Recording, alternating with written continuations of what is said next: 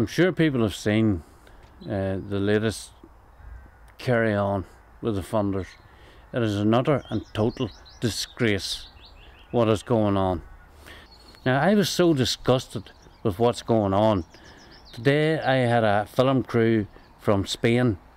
I have another one coming from Brussels. I'm telling them what is happening with the European funding and where it is going. It is going to the terrorists.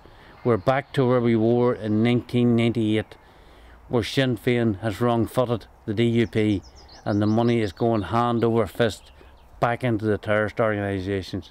An utter and total disgrace. And the fact that we have to meet uh, tomorrow night as representatives of the innocent victims from areas like uh, Kilkeel, Rathfriland, uh, here, Pomeroy, all over areas that were badly affected are not getting one penny because Martin McGuinness, the butcher of the Bogside, has decided okay, we murdered and maimed them, but now we have a chance to get at them again. Let's stop any help that is going to them. And that's exactly what they're doing. And the DUP can't do a thing about it. They've been wrong footed. And, you know, if they would actually come out and say, okay, we misread the situation, we didn't expect for to happen what has happened, you would actually respect them more for doing that. But for the turn around and say that they're actually doing things for the victims when they're not is hypocritical, to say the least. I can tell you this. I had a conversation with uh, Gregory Campbell where he told me there was 30 million going into the victims this year. A joke. Another and total joke. They have no idea what's going on. There is not one unionist innocent victims group receiving money at this particular time. And a matter of fact, we're having a meeting with the umbrella organisation. We're pulling them together uh, tomorrow night to have a meeting.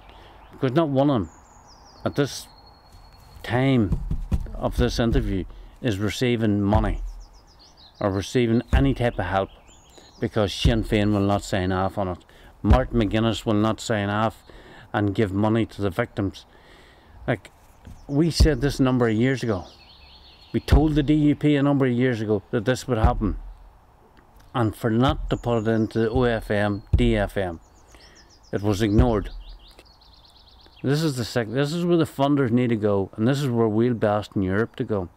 Like when I said that film crew there today, and I showed them the photographs of the children with the guns in a centre that's been funded by European money, irrespective of when it was funded.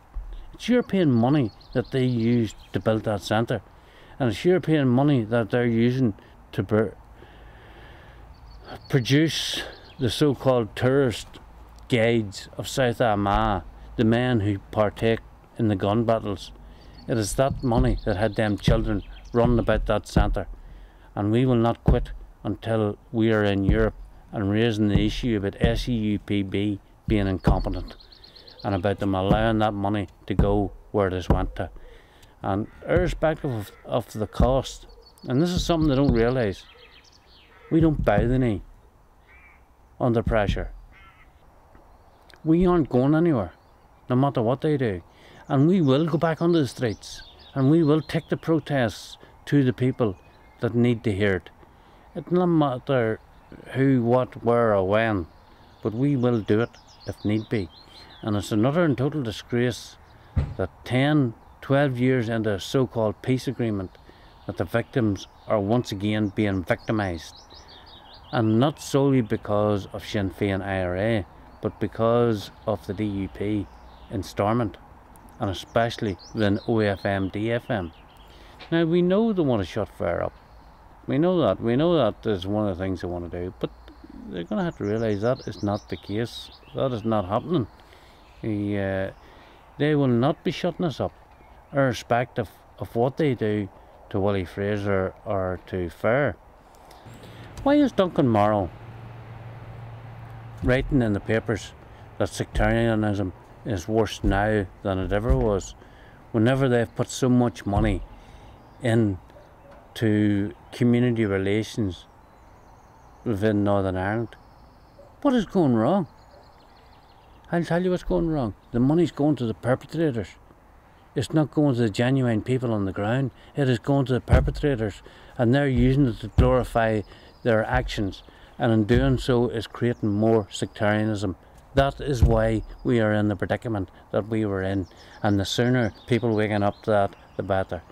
Uh, they can say Willie Frazer is this and Willie Frazer is that, but the one thing I'll ask you is today, show me where I'm wrong.